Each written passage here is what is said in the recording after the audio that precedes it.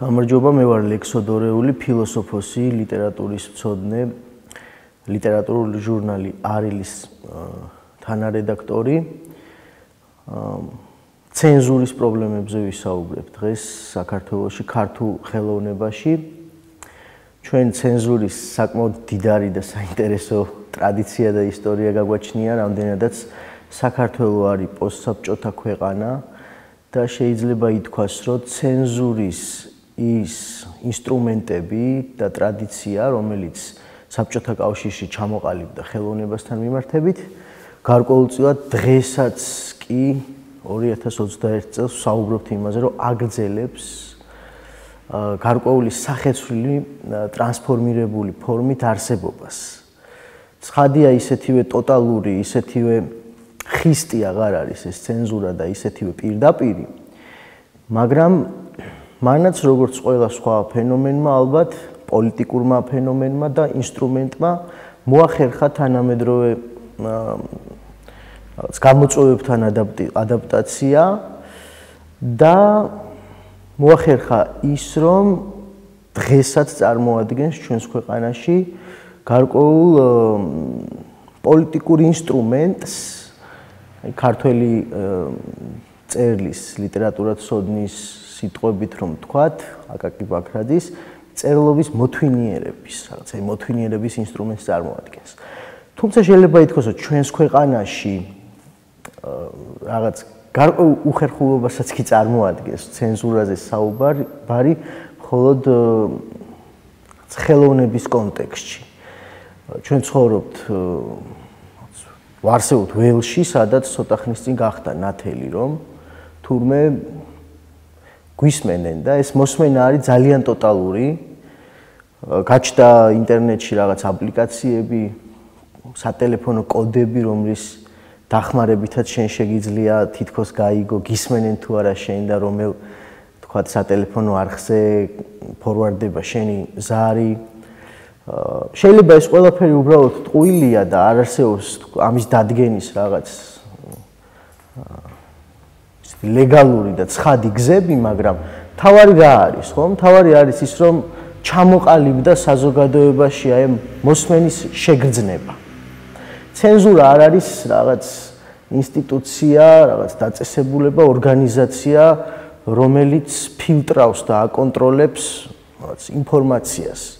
ცენზურა ყველაზე თავისი გამოვლენის ყველაზე ხისტ და რადიკალურ ფორმებში ალბათ არის სწორედ აი ამ შეგრძნების ჩამოყალიბება და გაჩენა, რომ არ ხარ მარტო, არ არსებობს საერთოდაც ისეთი ველი, ისეთი ადგილი, ტოპოსი, სადაც შენი მარტოობა არის გარანტირებული და პირადი სივრცე და გისმენენ და გიყურებენ. ჟან-პოლ სარტრი, ფრანგი ფილოსოფოსი ამბობდა, რომ როცა გიყურებენ და გისმენენ, ამით შენი თავისუფლება იზღუდება, შენ განიცდი სუბიექტიდან ობიექტად ტრანსფორმაციას, ტრანსფორმირდები, აღარ ხარ სუბიექტი. პირველ რიგში ამით არის ეს დამთრგუნველი. აი ქართველი ფილოსოფოსი, რომელმაც ალბათ ყველაზე საინტერესო და კარგად გაანალიზა აა ჩვენი ცენზურის საბჭოთა და ასევე პოსტსაბჭოთა მემკვიდრეობა მერაბ მამარდაშვილი ამბობდა რომ ძალაუფლება თავის განვითარების ყველაზე აბსოლუტურ მაჩვენებელს აღწევს მაშინ, როდესაც იდეოლოგია იმას კი არ გაფიქრებინებს, რაც უნდა.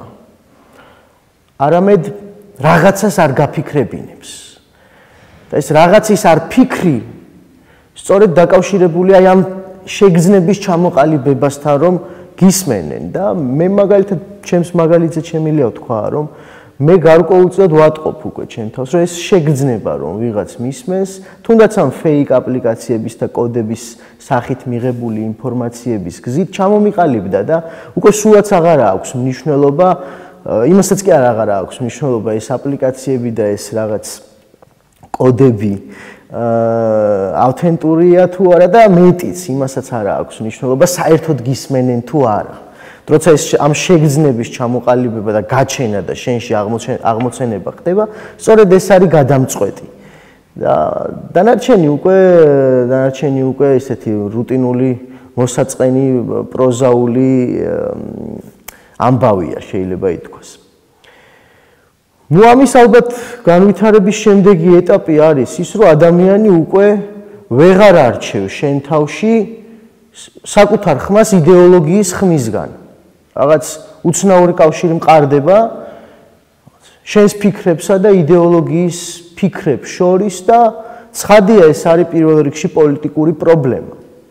ჩვენთან უამრავმა ადამიანმა რაღაც საჯარო პირებმა, ელჩებმა, ჟურნალისტებმა, კერძო უცნობმა ადამიანებაც ამოიცნეს იმ ჩანაწერებში, რომლებიც გამოქვეყნდა თავიანთი თავი ის საუბრები გაიხსენეს, რომლებიც მართლაც შედგა.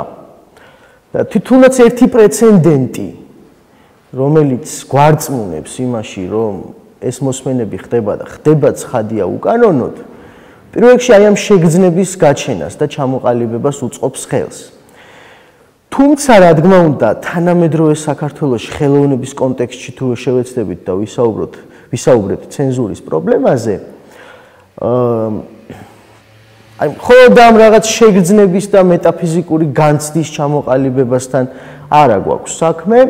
მას შემდეგ რაც ქართული ოცნების მართლობის პირობებში ყოფილი იუსტიციის მინისტრი თეა წულუკიანი დაინიშნა კულტურის მინისტრად ის თელი ძალებით ცდილობს რაღაც აი ციხის პრინციპებით მართოს მე ასე ვიტყოდი სფერო კულტურა ხელოვნება რომელიც ყველაზე მეტად არ ემორჩილება აი ასეთი მართვის ფორმებს, ხო? ის მას უნდა შეუქმნა პირიქით თავისუფლების და თვითრეპრეზენტაციის მაქსიმალურად დამოუკიდებელი და შეუზღუდავი სივრცე.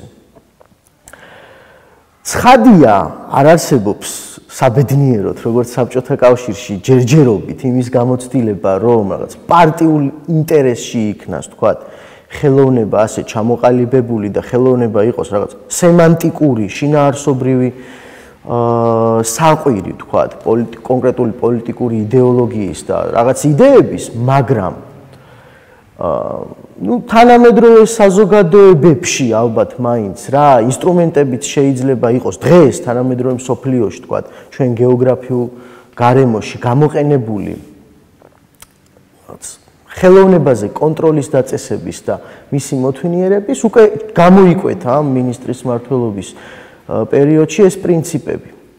პირველ რიგში რა? პირველ რიგში ის რომ ეს მნიშვნელოვანია რომ ეს პრინციპი დემოკრატიული საზოგადოებისთვის დამახასიათებელი პრინციპი რომ ხელისუფლება სახელმწიფო აფინანსებს გარკვეულ სფეროებს და ეს სფერო ყოველთვის განსაკუთრებით ეს ითქმის ყოველთვის ხელოვნებაზე, მაგრამ მიუხედავად იმისა, რომ აფინანსებს, არ ერევა მის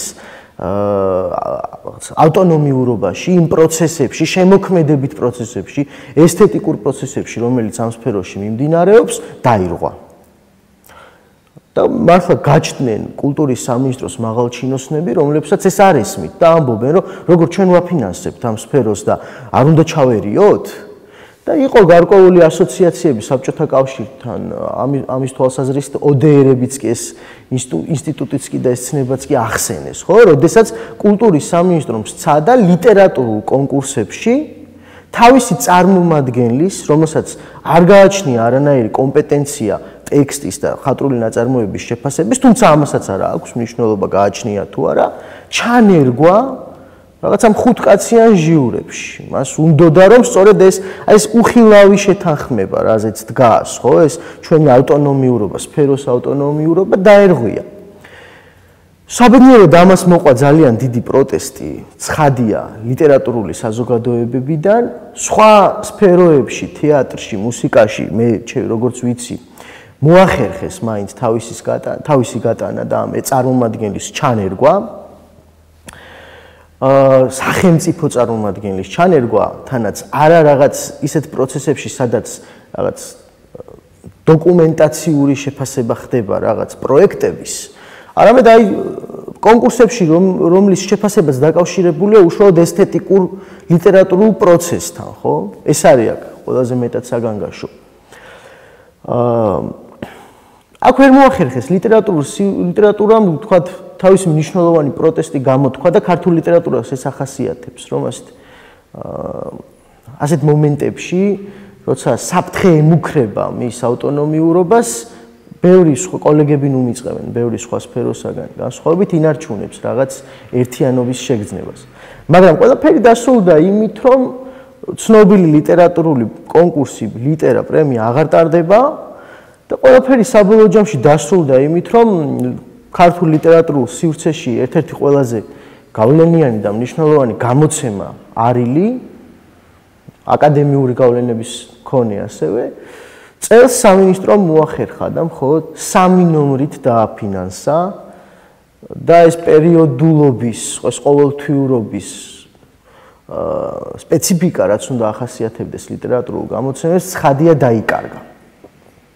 მხოლოდ სამი ნომრის დაფინანსება მიიღო არივმა, ისევე როგორც სხვა ლიტერატურულმა პერიოდულმა გამოცემებმა, ახალმა საუნჯემ მაგალითად და კიდევ სხვა რეგიონალურმა ლიტერატურულმა გამოცემებმა და იქაც გაჩნდა გარკვეული კითხვები, ჩემთვის ძალიან უცნაურია დღეს 2021 წელს ამაზე რომ საუბრობ. აი უშუალოდ რედაქტორების მიერ ტექსტების შერჩევის პროცესს ვინ აკონტროლებს? აი ესეთი კითხვა გაჩნდა ministrisგან პირადად მასთან შეხვედრის დროს. აა ანუ საქმე ეხება რას? ერთი მხრივ, რა თქმა უნდა, კომპეტენციის ნაკლებობას, როდესაც ციხების ციხის მართვის სფეროდან გადმოდიხარ ხელოვნების მენეჯმენტის სფეროში და ვერ ხვდები ეს ავტონომიურობა რაღაც როგორ უნდა რატო უნდა შეინარჩუნოს? თქვენ ამ ამ სივრცემ შენი მართვის მიუხედავად.